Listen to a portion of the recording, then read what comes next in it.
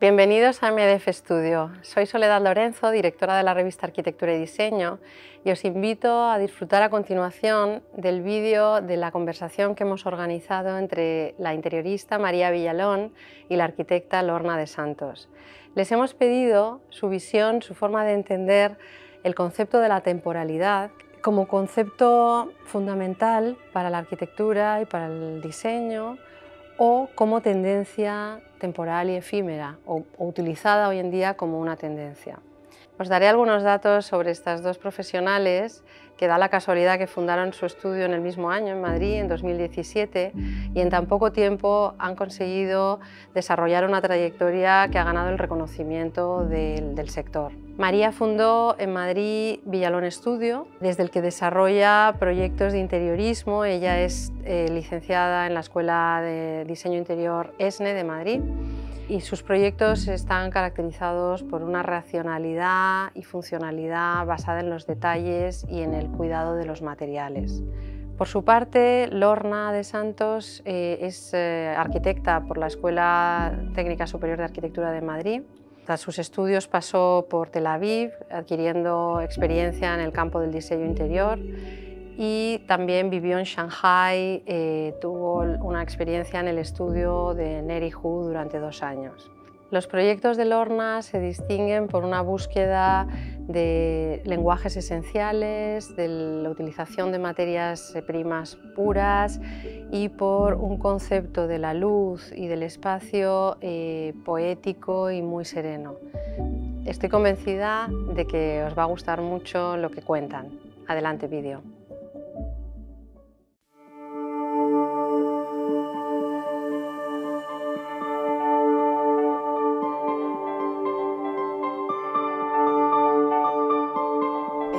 ¿Qué tal?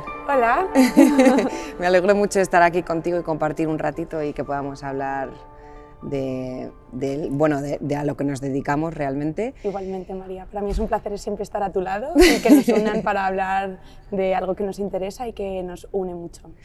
Pues em, yo quería eh, creo que estamos bastante, o sea, que vamos en paralelo en lo que, en, hacia dónde eh, queremos llevar nuestro, nuestro trabajo y nuestro día a día.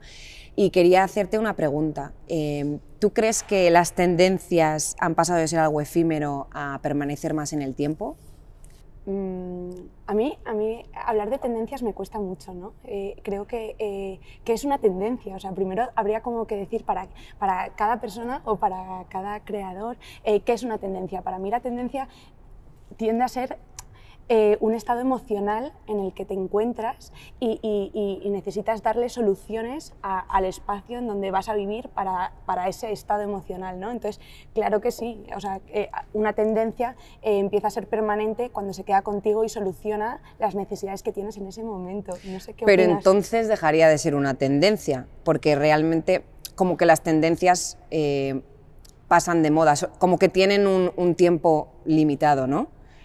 Y luego pasa a haber otra tendencia. Evidentemente, porque todo responde a, lo que nosotros somos, ¿no? O sea, como nuestra evolución. Eh, o sea, como personas eh, vamos por fases, vamos por tendencias, vamos por épocas y vamos necesitando unas cosas, ¿no? O sea, visto está que el mundo se ha vuelto vulnerable y todos buscamos ahora en nuestra casa un refugio y eso es una necesidad de ahora. pues para mí sería una tendencia y tendemos a eso, ¿no? Un poco... Sí, o sea, pensado así, sí. O sea, yo, yo, lo, yo cuando, cuando pienso en esto, eh, también, o sea, me paro a pensar y digo, igual es que eso que llamamos tendencia o algo que es efímero ya no es tan efímero porque valoramos el de dónde, o sea, de dónde venimos, o, qué hemos hecho hasta ahora, qué hacemos, qué hacemos ahora en el diseño o qué queremos hacer. Entonces, considero que cuando ya eh, pensamos de una manera más consciente o intentamos, oye, nos queremos alejar de las tendencias en sí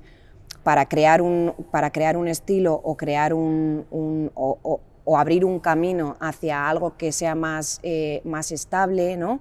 Que sea mejor para nosotros, buscar ese bienestar, lo que dices tú, yo, yo diseño una, una, vivienda y yo realmente no quiero que esa vivienda pase, por así decirlo, de moda, sino que quiero que perdure en el tiempo, que, que, que, ese, que ese tiempo o esos materiales que yo utilizo, o, eh, con el, o sea, que con el paso del tiempo también esos espacios sean incluso más bonitos, ¿no? Por supuesto, que vayan cambiando con la necesidad emocional que se tiene en cada época. Efectivamente, entonces... Em, no sé, la verdad que, a mí el, a mí es que la palabra tendencia no me gusta nada. y, y, yo realmente no soy muy de tendencias, pero, pero bueno, ni en moda, ni en diseño de interiores, ni en, ni en nada. Simplemente considero que tienes, que tiene, tienes que diseñar algo con lo que te sientas a gusto, con lo que estés cómodo, con lo que la otra persona se sienta, se sienta también cómoda, ¿no? porque al final estamos diseñando para la gente y, que también cree como un cambio ya no solamente en el, solo en el cliente, sino también en, la sociedad. Yo, yo ahora en el estudio, sí, tenemos como una tendencia, por decir la palabra, eh, es, es eh, lo que quiero y lo que estamos intentando como proponer es una nueva forma de vivir, ¿no? O sea, eh, es que no tenemos que seguir unos patrones, es que ¿por qué no nos lo inventamos? O sea, ¿por qué no pensamos eh, respondiendo a las necesidades que tenemos y creamos una nueva forma de sentarse, de comer, de relacionarnos? Lo hemos visto eh, durante la pandemia. Entonces, es verdad como que ahora hay que responder a toda esa observación a la naturaleza, a lo que hemos sido, para darle una respuesta a nivel diseño, arquitectura, ¿no? diseño interior. Y bueno, esa, para mí es la tendencia, la búsqueda de un nuevo diseño, de una nueva forma de vivir eh, en esta fase que nos vamos a encontrar y que se encuentra, gracias a Dios, todo el mundo eh, y que observa y que siente que lo nuestro es muy importante ahora, que los espacios que creamos son súper importantes. Y María, ¿tú qué crees em, en esta nueva época o fase en la que entramos? ¿En qué deberíamos de fijarnos, a qué tenemos que estar atentos?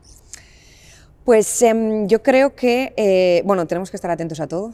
Nosotros siempre, es decir, la inspiración a, nosotras nos, llega por todos lados, pero eh, yo creo que tenemos que eh, centrarnos en, nuestros clientes y en, en, lo que ellos piensan o sienten eh, actualmente, ¿no? no solamente en, cómo, hemos reaccionado nosotros ante una situación como puede ser la pandemia, sino también en, los clientes y antes de cualquier tipo de, proyecto, eh, pues eh, hacer una investigación previa, conocer bien al cliente, interiorizar de qué manera se siente o, a qué cosas le da, le da ese cliente prioridad y ya no tratar al cliente como cliente, sino, sino em, también acompañarle, ¿no? O sea, que no, haya, que no exista ese, ese muro entre, entre el cliente y nosotras, mm. sino, oye, nosotras, nosotros lo que somos somos unos, unas acompañantes que lo que vamos a hacer es que tu vida pues, sea mejor, porque nuestro, nuestro trabajo es eh, diseñar que perdure en el tiempo y que, y que eso... Eh, es que hay, muchas veces que, explicarlo con palabras es complicado, pero que, que ellos se sientan, se sientan cómodos y que, y se cree un hábitat de, de, comodidad, de, que sea agradable, que cuando lleguen a, a, su hogar o cuando lleguen a un restaurante o lo que sea, que, vivan una, una experiencia y que ellos se sientan completamente, completamente cómodos. No sé si tú estás de acuerdo con, con esto. Completamente, completamente. Eh, yo leía el otro día eh, a Patricia Orquiola, que es como un gran referente, decía, eh, nosotros somos biólogos de las emociones, y es verdad. Totalmente. nosotros somos biólogos de todo aquello que se nos presenta, tanto a nivel material, a nivel personal, a nivel emocional, todo lo tenemos que estudiar en profundidad. ¿no? Y es verdad que para mí, algo a lo que intento estar ahora atento es que nosotros como como, personas estamos intentando eh, simplificar, ¿no? o sea, simplificarnos, eh, estar más en contacto con la naturaleza, cuidarnos. Hemos entendido que entramos en una fase como que hay que cuidarse, que la alimentación es muy importante, que la estética es importante.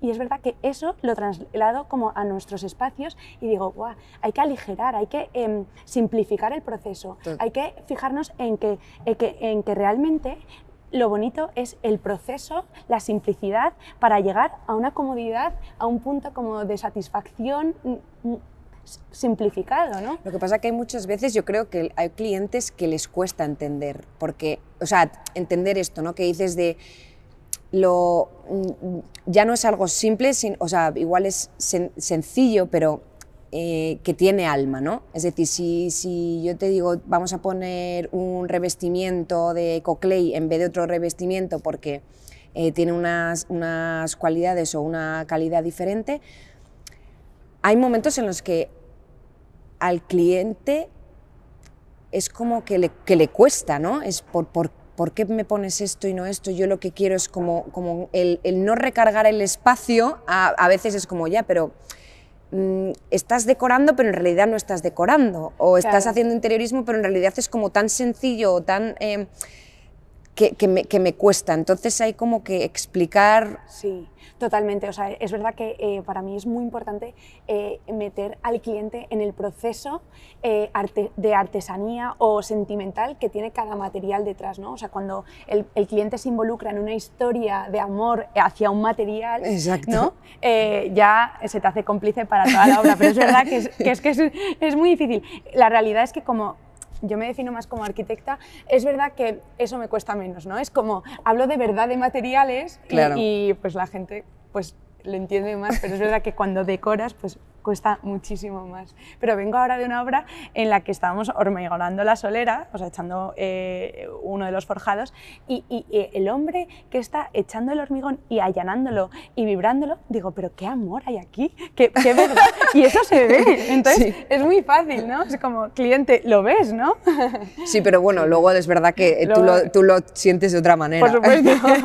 Con que lo sientan un poco ya lo tenemos hecho. Y, mm, y hablando de esta, de esta eh, diferencia o de, o de eh, no unión entre tendencia y, a- y- atemporalidad, ¿qué referentes o, en qué te inspiras a la hora de, hacer tus diseños? Em, ¿Qué es lo que, lo que tú más valoras a la hora de, por ejemplo, elegir un material? O, eh, cuéntame un- un poquito Pues, eh, a ver, ¿qué, te inspira eh, todo, no? O sea, que, buscas la inspiración en to- todo. Hay que estar como muy atento a todo porque hay de repente algo que te hace vibrar, ¿no? Y eso puede ser como el origen de, un desarrollo o de un proyecto, ¿no? Yo creo que, que a, todos los eh, creativos como que somos muy perceptibles, o sea, mm, percibimos mucho todas las sensaciones que recibimos. Pero es verdad que, que, mm, que ahora que intento en el estudio dar un salto y, y- y- y ser más creativos y centrarnos como en lo que hacemos y no tanto dejarnos influir por lo demás, eh, me fijo mucho en los procesos creativos de, de- la gente que nos rodea, de los artesanos, de, los, de las manos que fabrican lo que vamos a realizar. ¿no? Entonces, eh, es verdad que para mí una fuente de inspiración y una tendencia temporal es la artesanía. Es la gente que está parando con el mundo eh, eh, industrializado en el que vivimos y vamos a unas manos, a una tranquilidad para hacer cada pieza de manera irregular. Yo diría que que me fijo mucho en, en- en eso, en, en cómo en un taller ah, está el material en, al natural eh, y eh, en lo que se convierte. Pues todo ese proceso me interesa muchísimo, No, y sobre todo también porque eso lo que hace también es que cada pieza sea única, con lo por cual supuesto. también eso, eso, eso influye muchísimo en, en, en- en nuestro, en nuestros diseños. Sí. ¿Vosotras en qué os fijáis o en el estudio que hacéis? Bueno, nosotras es, eh, yo creo que, que estamos bastante alineadas en ese, en ese aspecto. Eh, sí es verdad que para nosotras los artesanos son una parte fundamental en, en- en todo, en todo el proceso y, y es lo que comentas tú, que ya no es una pieza que entra en, en juego una vez que tú ya lo has diseñado, sino que dentro de ese, dentro de ese proceso ellos empiezan con nosotros. O sea, hay muchas veces que es como que el proceso, el, el- el proceso te- se da la vuelta, ¿no? Totalmente. Y de una, de, una, de una pieza de artesanía de repente dices, oye, pues ¿por qué no empezamos el proyecto basándonos en esta pieza y ya, lo, y, y ya se, des- y se va desarrollando en el proyecto en sí? Entonces eh, es, es increíble y luego también lo que tú aprendes de ellos, ¿no? Porque, supuesto. porque cada, uno, cada uno trabaja de diferente manera. eh, si coges a, un, eh, a una persona que, que realice jarrones en torno, o sea, de madera en torno, y coges a otra, igual trabajan de manera diferente y puedes también aprender de esos diferentes eh, procesos. ¿no? Entonces yo creo que eso, que, eso es fundamental y luego, lógicamente, eh, yo creo que todos, todas eh, nos, no, también cogemos como referentes a arquitectos o interioristas o di- ya diseñadores que igual ya no son, ya no son o arquitectos o interioristas, sino diseñadores de, de- de producto o, diseñadores de moda o, diseña- o ya o artistas. Y, y yo creo que eso como que nos va entrando toda la información y eh, poco a poco nosotros lo tenemos que ir como mm, eh, metiéndolo como en un embudo, ¿no? Y luego por goteo, pues vamos, vamos eligiendo eh, eh, lo, que más, ¿no? lo que más nos interesa, ¿no? Porque no, lógicamente no somos ordenadores y, tenemos, que, tenemos un poco que, que, simplificar, pero yo creo que esa parte de simplificar al final te acabas quedando con, con lo más importante. Mm.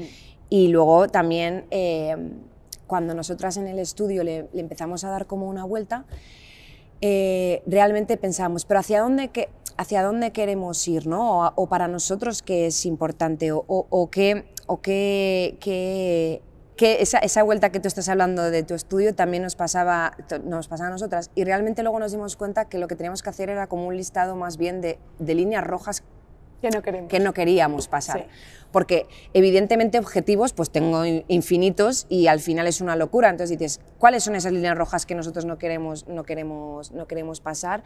Y que, y que considero que eso, que eso también se tiene que reflejar en, en esos referentes de los que hablamos, ¿no? Por supuesto, sí. Yo em, paso como dos épocas en la vida, ¿no? Una es de muchísima información, eh, mirando hacia el exterior, eh, lo leo todo, lo veo todo y, y todo me gusta y de repente nada me gusta. O no quiero ver nada, quiero estar sola. Claro, al, final esta, yo creo que esta parte, esa, eso, es la parte también artística, es decir, o un, o, un, eh, o un escritor de repente no siempre está inspirado y escribe, al final está frente a una hoja en blanco, pues esto es lo mismo, al final nosotros... Hay días que estás más inspirado, días que menos, días que estás más abierto a, a, recibir información y hay días que no. Lo mío suele ser incluso como épocas, ¿no? Meses de, decir, no, yo necesito ahora viajar, eh, desconectar, no mirar la tecnología. O sea, a mí me aturde mucho como todo lo que es el móvil, la tecnología y todo eso. Y digo, uy, tengo que alejarme. Y cuando vuelvo, vuelvo con todo a absorber. y digo, madre mía, por favor, no, tranquilidad. Le digo, todo el, equipo en plan, oye, no, ayer decías una cosa y dices otra. Pero bueno.